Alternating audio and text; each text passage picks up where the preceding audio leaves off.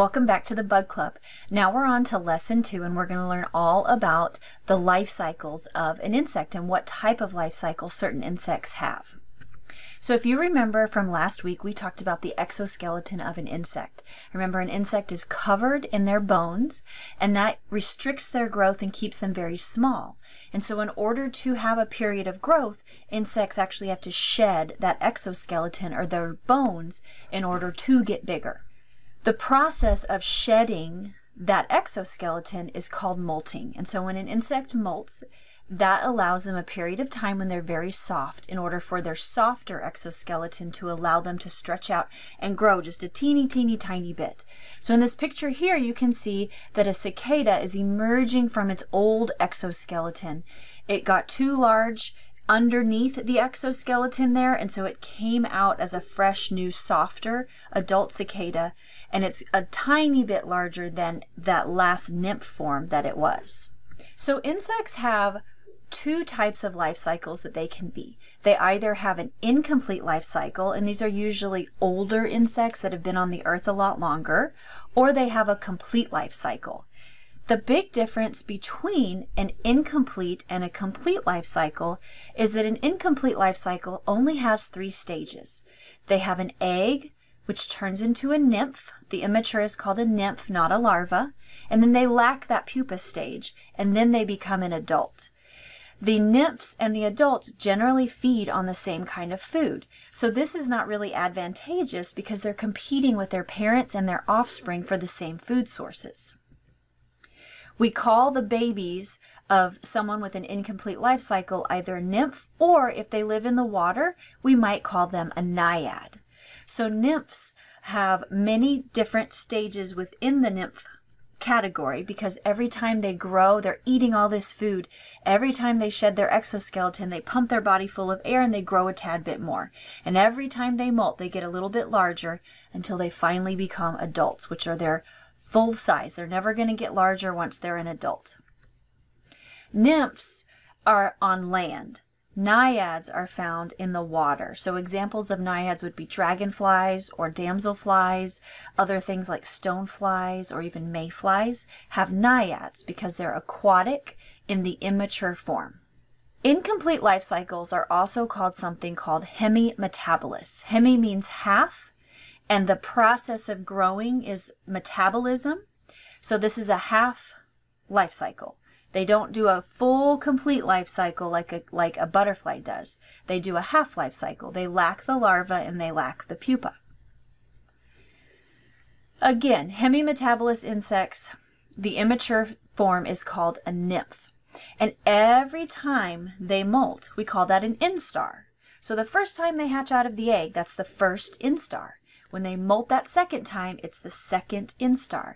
And most insects will have up to five instars before they finally become the adult. Adults are the only stage that have fully developed and functioning wings.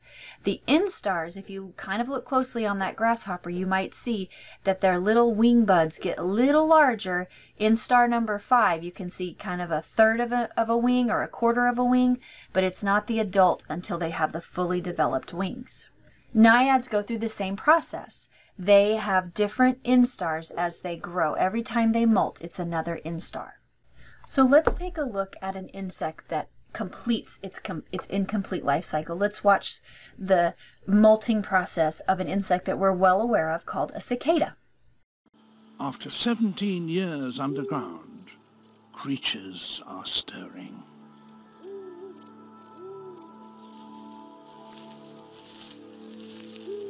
The nymphs of the periodical cicada have been biding their time. Now they march like zombies towards the nearest tree and start to climb.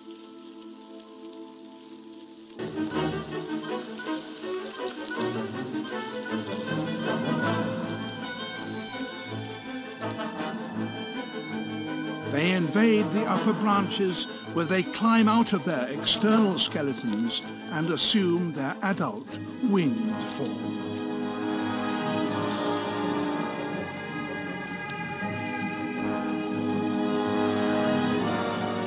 At first, they're white and soft, but they have until dawn to complete their...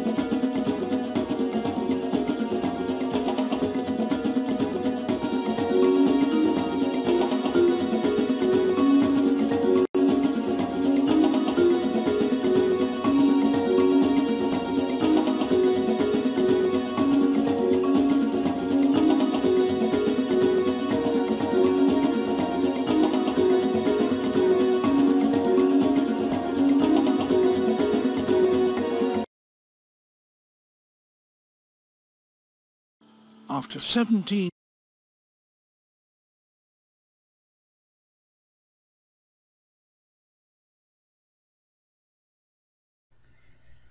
Cockroaches also have an incomplete life cycle. You can see from this picture that the mother lays a little egg case, and inside of that egg case are a number of little tiny babies. Instead of individual eggs, she lays an egg case, and then those are the different instars of the cockroach before they finally become an adult. So in this case, they have one, two, three, four, five, and six instars. Other insects that have an incomplete life cycle include a praying mantis. Mother also lays a big egg case, and then those eggs hatch into little things called nymphs. And there are different stages of the nymphs. In this picture, you can actually see what the nymphs look like inside of the egg case. They're just kind of glued together and they have big, you can kind of see the big giant eyes. And then the little baby praying mantises will molt a series of times before they become adults with the fully developed wings. Other insects with an incomplete life cycle other than our praying mantises and our um, cockroaches include things like walking sticks, stink bugs, aphids, which are little tiny insects that cause a lot of damage to our plants. Termites have an incomplete life cycle. Lice have incomplete life cycles, and so do grasshoppers and crickets. Now, an insect with a complete life cycle has four separate distinct stages. So mother lays some eggs, the eggs will hatch and they become larvae. Larva's job is to eat and grow, just like your job. Then they will become pupa, and then they become the adult. So there are four separate stages. Generally, the larva and the adult do not feed on the same food source, and in this case, with butterflies and caterpillars, they don't even have the same kind of mouth parts. So this is actually very advantageous to them because they're not competing with their offspring or their parents for food. If you have a complete life cycle, we call it holometabolous. So mother lays some eggs, the larva will grow and molt a series of times being different instars, just like with our nymphs and our naiads, and then they become the pupa and then finally the adult. Most of us recognize butterflies as having a complete life cycle or holometabolous, the whole thing. Here are some larval instars of one of our most recognizable butterfly caterpillars, the monarch butterfly. So every time the monarch molts, it grows just a little bit more until it's finally ready to pupate. Let's watch a video of a butterfly completing its life cycle.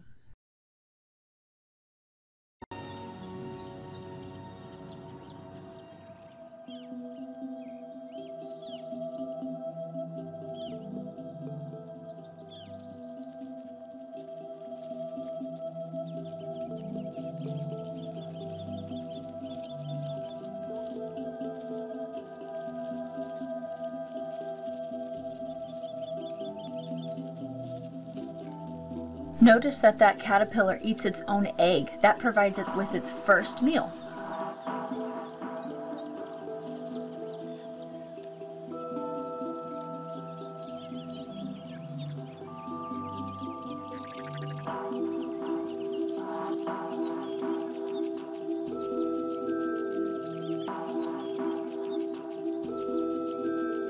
Here's that monarch caterpillar leaving its old exoskeleton that's become too tight.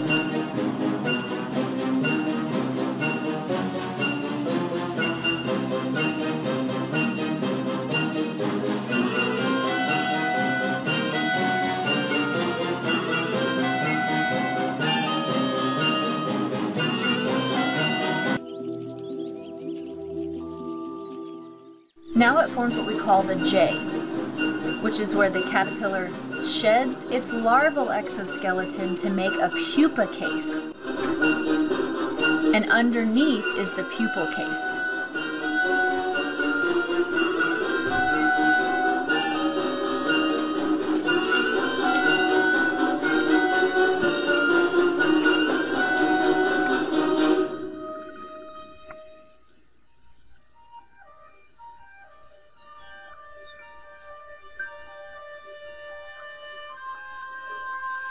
Developing underneath that pupa case is the adult that we recognize as the monarch butterfly. It has to pump its wings to get a lot of oxygen flowing through so that it can finally become the adult. Other insects that are considered holometabolous or have a complete life cycle include fleas, lacewings, which are little green and um, even some brown beneficial insects, all of the beetles, all of your butterflies and moths, all the flies, all the different species of bees, ants, and wasps all have a complete life cycle, which means they have four stages. So, to recap, an incomplete life cycle has only three stages. A complete life cycle has four stages. An incomplete life cycle stages are called an egg, a nymph, and an adult. Nymph or naiad, if the, they live in the water, they're called a naiad. Complete life cycle stages are egg, larva, pupa, and adult. Incomplete life cycle is also called hemimetabolous, and a complete life cycle is called holometabolous. So now let's build a life cycle wheel and bracelet. Inside of your kit, you should have all the materials for this labeled under lesson two. Go ahead and pull those things out and let's watch the video for it.